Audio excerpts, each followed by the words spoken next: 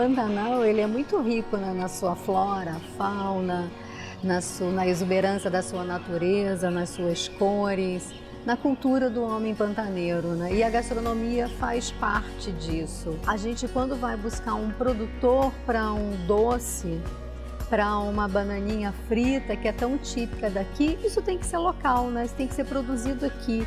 Quando a gente pensa nos nossos alimentos mais frescos, né, nas folhas, a gente procura que seja uma produção orgânica, porque quando a gente fala em sustentabilidade, a gente tem que pensar na cadeia como um todo, né?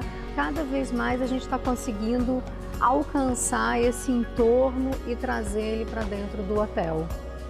A gente eliminou também o uso de descartáveis, né? Não tem mais copo plástico, né? Então a gente usa um copo de polipropileno, um copo de vidro que possa ser utilizado, higienizado e voltar novamente para o uso, né? O planejamento do cardápio aqui no Sesc Pantanal, ele segue todo um cuidado. Elaboramos o cardápio pensando em atender todos os hóspedes, desde as suas restrições alimentares e até doenças relacionadas à alimentação, a gente atende com esse cardápio, uma alimentação bem mais saudável, equilibrada, que a gente busca através de produtos mais naturais, através da nossa horta, com temperos naturais. E alguns produtos a gente acompanha desde o produtor. Que esse produto tenha uma qualidade esperada aqui no Sesc Pantanal. Valorizamos muito a culinária regional, os ingredientes e os produtos da região. Possuímos na nossa equipe pessoas que viveram, nasceram aqui no Pantanal e a gente traz, resgata um pouco dessas vivências, dessa origem para reproduzir no nosso cardápio, nas nossas preparações. É, a intenção é que o hóspede conheça os sabores locais, os sabores do Pantanal. É, além dos pratos típicos, né, feitos, preparados da maneira que a gente encontra aqui na região, a gente também tem a utilização dos produtos regionais em outras preparações, preparações diversas.